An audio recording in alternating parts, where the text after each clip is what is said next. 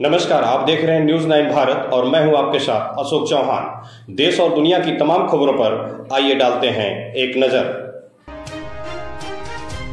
आजमगढ़ में उत्तर प्रदेश माटी कला बोर्ड के माननीय अध्यक्ष ओम प्रकाश गोला प्रजापति जी के अध्यक्षता में कलेक्ट्रेट सभागार में उत्तर प्रदेश माटी कला बोर्ड द्वारा संचालित योजनाओं की समीक्षा की गई। उन्होंने कहा कि विभागीय योजनाओं का व्यापक प्रचार प्रसार कराया जाए उन्होंने अधिकारियों को निर्देश दिया की माटी के लिए आवेदन करने वाले व्यक्तियों का पट्टा निर्धारित समय से किया जाए। उन्होंने कहा कि ये प्रदेश एवं भारत सरकार के ड्रीम प्रोजेक्ट में शामिल है। उन्होंने कहा कि इसमें यदि किसी प्रकार की समस्या आती है तो तत्काल अवगत कराया जाए, ताकि बोर्ड की मीटिंग में रखा जाए। श्री प्रजापति जी ने अधिकारियों को निर्देश दिया कि व्यक्तिगत कार्यों के लिए प्रयोग किए जा रहे ट्रैक्टर टाली वालों को परेशान न किया जाए। उन्होंने कहा कि आजमगढ़ की ब्लैक पॉटरी के उत्पादों को आकर्षक बनाने के साथ ही ब्रांडिंग भी किया जाए। उन्होंने कहा कि परंपरागत उत्पाद के साथ ही आधुनिक एवं आकर्षक उत्पाद बनाने के लिए आधुनिक मशीनों, टेक्नोलॉजी का प्रयोग किया जाए।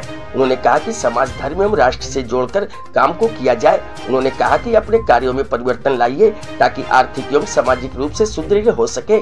श्री प्रजापति ने कहा कि माटी के उत्पादों को बेचने के लिए मार्केट से सीधा संपर्क बनाए एवं बिचौलियों से बचे। उन्होंने कहा कि अपने उत्पादों को यूट्यूब इंस्टाग्राम फेसबुक एवं व्हाट्सएप के माध्यम से प्रचार प्रसार करें। उन्होंने कहा कि wall writing poster, banner, pamphlet, hoarding एवं विद्यालयों के माध्यम से विभागीय योजनाओं का प्रचार प्रसार सुनिश्चित की जाए। माननीय अध्यक्ष ने मुख्य राजस्व अधिकारी को निर्देश दिया कि बैंकर्स के साथ बैठक कर लोन के लिए अप्लाई किए गए आवेदनों का निस्तारण सुनिश्चित की जाए। उन्हें कहा कि अधिक से अधिक आवेदन का लोन स्वीकृत कराया जाए। उन्हें कहा सभी तहसीलों में माइक्रो माटिकला कॉमन फैसिलिटी सेंटर की स्थापना की जाए। मुख्य राजस्व अधिकारी जेपी सिंह ने बताया कि वर्ष 2021-22 एवं 2022-23 में तहसील सदर में चार सौ तिरालीस सगड़ी में उनतीस बुढ़नपुर में तीन सौ सैतालीस फुलपुर में 315, निजामाबाद में सड़सठ लालगंज में एक सौ इकतालीस मेहनगर में 33 मिट्टी निकालने के कार्य का प्रशासन पर पट्टा दिया गया है। उन्होंने बताया कि निःशुल्क टूल किट्स वितरण योजना अंतर्गत वर्ष 2021-22 में 75 लाभार्थियों को विद्युत चालित चाक का वितरण कराया गया है। बैठक में मुख्य राजस्व अधिकारी जेपी सिंह जिला अध्यक्ष ध्रुव सिंह विभागीय अधिकारी एवं लाभार्थीगण उपस्थित रहे। न्यूज़ नाइन भारत के लिए अमित खरवार की रिपोर्ट।